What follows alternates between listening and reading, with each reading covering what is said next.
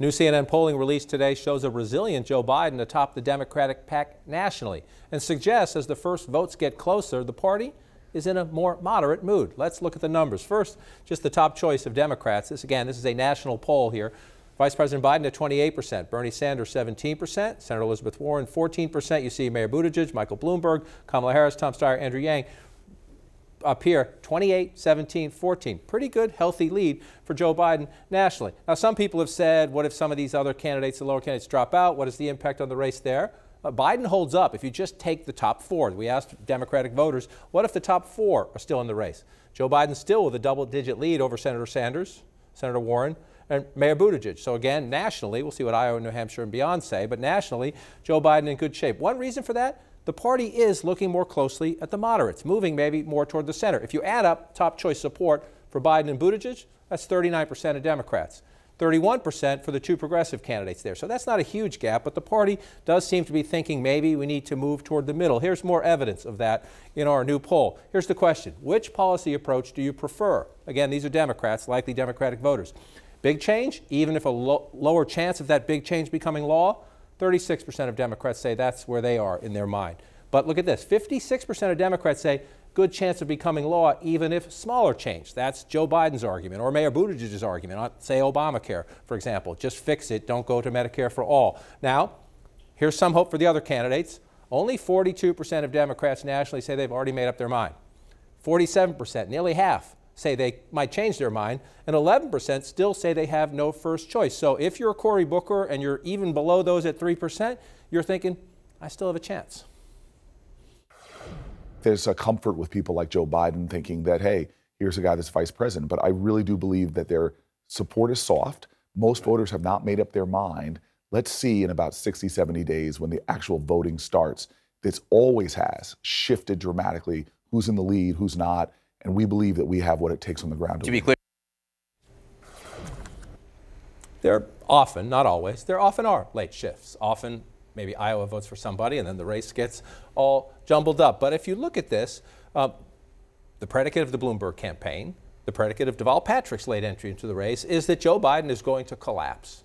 If you look at these national numbers, uh, there's a lot of chatter in Washington and among Democratic strategists. Does Joe Biden have what it takes? Can he hold up? The numbers keep saying that voters around the country, they're fine.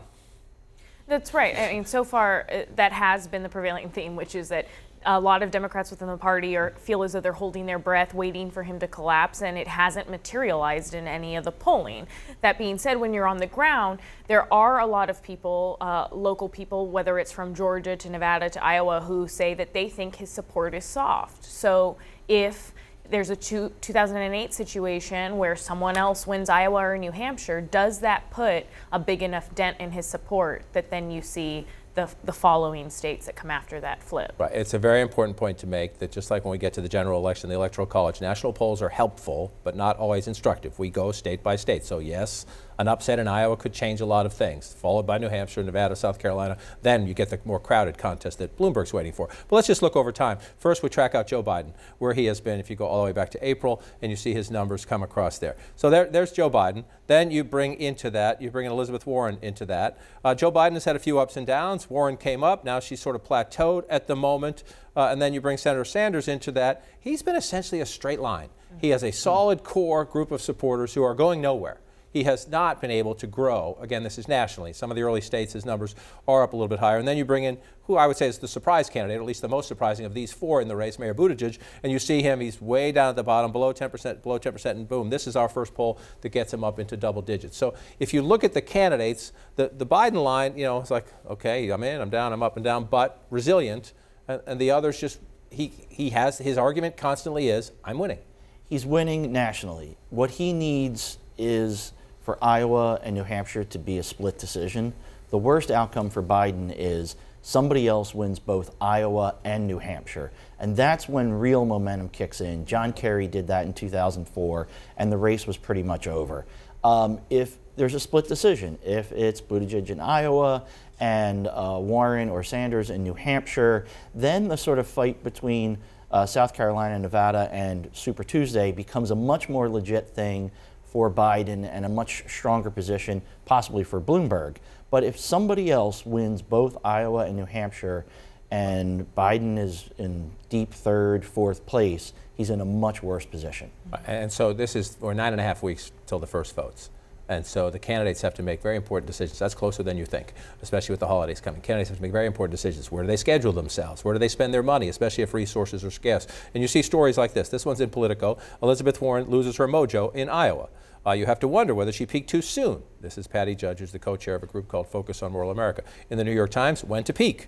Amy Klobuchar has given it some thought. Our momentum says we're doing pretty darn well in Iowa, pretty damn well, she says. I'm sorry, I want to quote her accurately. She'll at least, will, she'll at least be in the top five. This is from her Iowa campaign chair. Uh, it is interesting to have these candidates now. Look, it's hard to run for president. We have fun sometimes, sometimes at the candidate's expense. It is hard.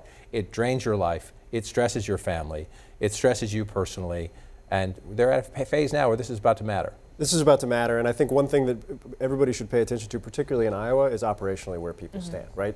Maybe Elizabeth Warren is plateauing, but I think everybody agrees that her team on the ground is as good as it gets, and that matters in a caucus state, uh, without any question. But there's also another thing, and that's Pete Buttigieg's rise came because of his on the ground operation in Iowa, and also he carpet bombed the state with ads. He had the money, he had the finances to do that. Other people may be in position to do that over the course of the next nine weeks as well, and so it'll be interesting to see if that actually tangibly moves their numbers, or if this is the final four, and we see how these four fight it out over the course of the next 10, and 15 weeks. To that point, we just want to show you national numbers versus Iowa numbers in our latest polls. If you look at this, so far this has been a national race with very few exceptions. If you look down the numbers there, the candidates who are struggling, uh, they're struggling nationally, are also struggling in Iowa. Amy Klobuchar would be the exception there, a two percent.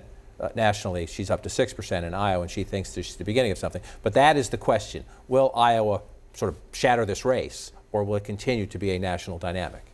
Well, Iowa has always been sort of the indicator, um, and that's why it's there's so much attention on it. Uh, whether or not uh, it, it's the game changer, obviously that's that goes that remains to be seen. And so whether or not Pete Buttigieg, for example, will carry on and, and do as well as he will in Iowa, you know, it's unlikely given how the polls are looking, but right. um, definitely some momentum comes out of the Iowa race. And whether there actually is an opening for a Bloomberg who says there will be, who right. says there will be waiting, we shall find out.